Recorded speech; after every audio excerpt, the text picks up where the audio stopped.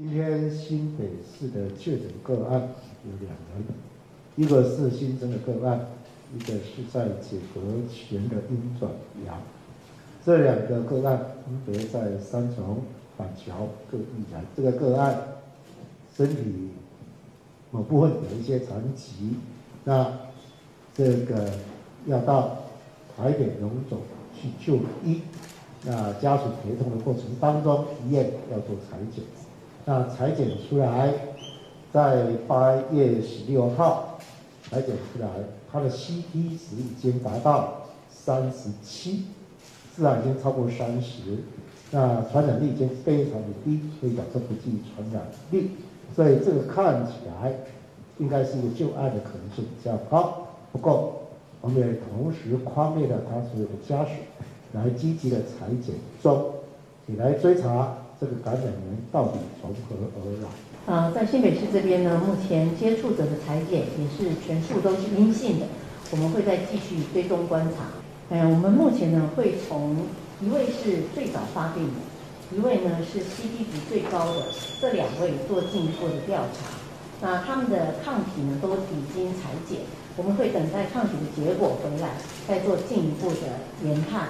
那新北市跟台北市的体育局，我们都会用电话彼此做联络跟讨论。那我们的共识是，我们会有一致的做做法。在八月十四号，新北市政府公布夹娃娃机开放营业指引之后呢，我们新北市会派稽查人员到夹娃娃机店，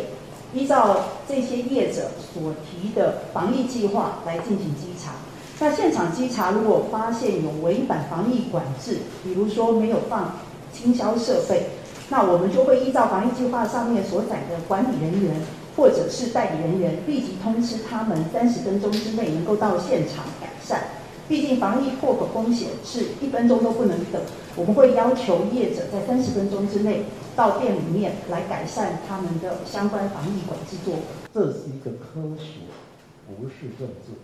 科学必须要面临很多的专业的检验，更会要公开透明的方式来告诉民众呢，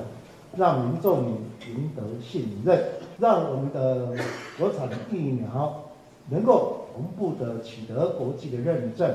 同时可以在全世界一起认同底下，可以因为打了疫苗，不管以后的出国做任何的国际上的活动都被认可。新北市会在这里准备好，等中央一公布以后，我们就会搭配中央的公布，来带动新北市的经济的消费力，尤其在市民经济这一块的复苏，我们希望能够用多一点力量，帮助他们度过难关。